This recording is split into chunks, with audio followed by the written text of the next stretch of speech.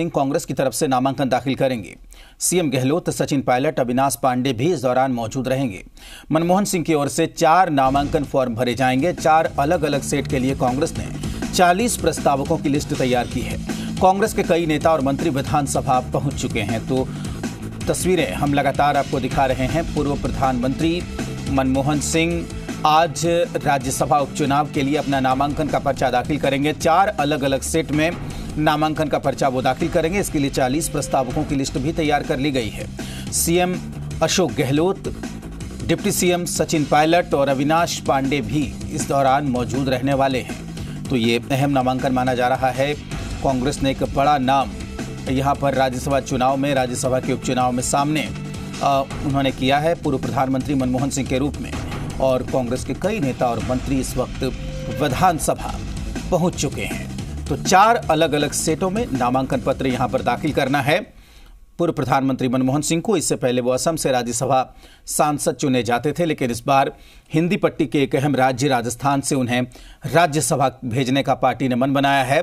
और अगर आंकड़ों की बात करें तो उनका चुना जाना तय माना जा रहा है, क्योंकि जितने सीट चाहिए, यहाँ पर राज्यसभा में चुनाव जीतने के लिए उतने सीट केवल कांग्रेस के पास है और बाकी अगर बात करें निर्दलीय विधायकों का और दूसरी पार्टियों का तो ये जो आंकड़ा है वो 120 से आगे पहुँचता है।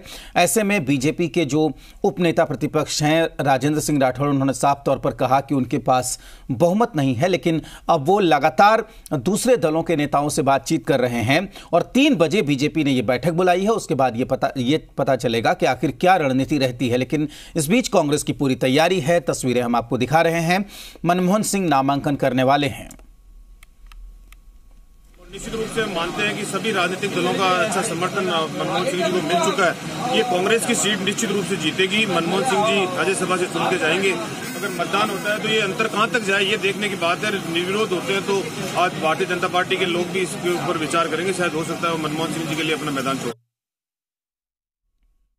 एक बहुत बड़ी हस्ती है मनमोहन सिंह जी। टॉप मोस्ट जो इकोनॉमिस्ट है दुनिया के, उनमें से एक है। और जो आज हम देख रहे हैं पूरे देश में खुशहाली का वातावरण, जब ये मनमोहन सिंह जी वित्त मंत्री बने देश के, और इन्होंने उदारवादी दृष्टिकोण अपनाया, नीतियों में परिवर्तन किया, और जो फैसले लिए, उसी की बदौलत आज पूरे हिंदुस्तान में खुशहाली का माहौल है। तो जो आदमी,